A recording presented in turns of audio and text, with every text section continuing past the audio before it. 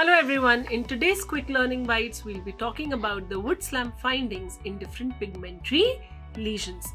When we have the hyperpigmented lesions like melasma, these lesions become more prominent when we do a Wood's lamp on these.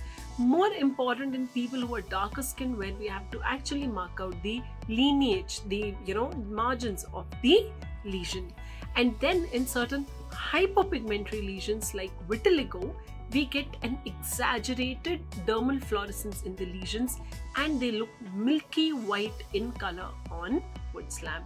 And then we have the smaller lesions which are the ash leaf macules, especially in babies with tuberous sclerosis, intractable seizures. There, when you do a Wood's lamp on the bedside, you see the otherwise not very visible lesions looking beautifully milky white again on the Wood's lamp. So these were the important pigmentary lesions where you get a Wood's lamp finding.